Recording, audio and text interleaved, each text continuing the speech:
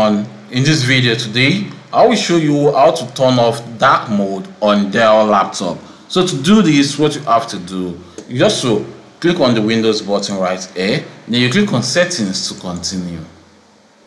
So when it finishes loading the next thing for you to also click on personalization to continue. Then click on color. So when done as you can see choose your mode. You can then come right here and choose light mode as you can see right now the dark mode has been turned off. So that's all to do this. Hope this video helped please give it a thumb up and don't forget to subscribe to our youtube channel. See you in the next video